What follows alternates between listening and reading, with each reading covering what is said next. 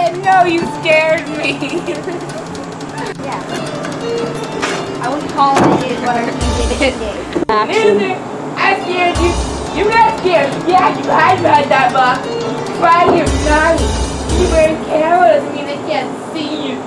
I was there.